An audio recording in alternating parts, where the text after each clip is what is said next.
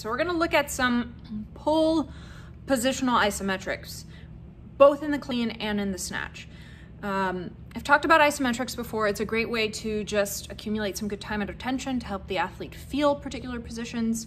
Um, and the, what's nice about the pull is that you can set your hooks, your J hooks, anywhere along that pull line. So it can be right from the ground if they're having a hard time feeling where their body should be, where their balance should be when the bar's on the floor. It can be right below the knee. It can be right above the knee where things get really tricky so they find that position. It can be the power position, right? If they really struggle feeling balanced in that power position, we can set their isometric hold there and just let them accumulate that time and get familiar with where the position is supposed to be.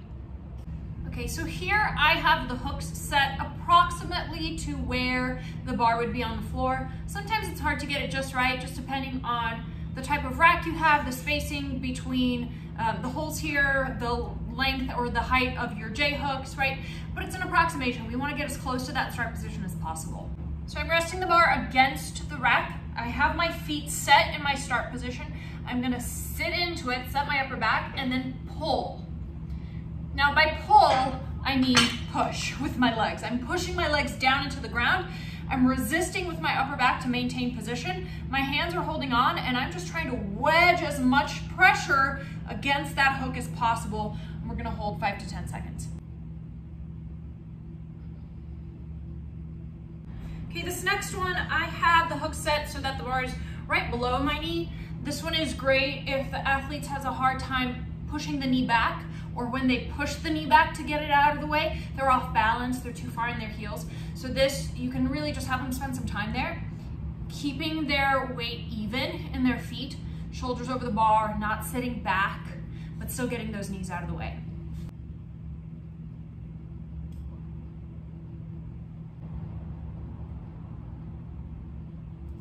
And the point with these is to push, to help the athlete feel their feet, apply pressure downward, feel their legs engagement, develop some good postural strength in their back just from holding those isometrics, and feel how the pressure is pushing downward.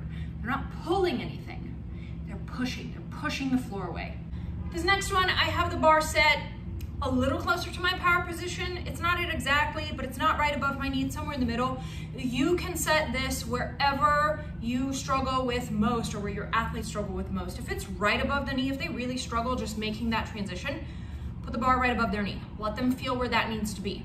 If it's somewhere around mid-thigh, then set it there. If it's their power position, if they're getting onto their toes early and have a hard time keeping their feet flat, maybe let's put it there.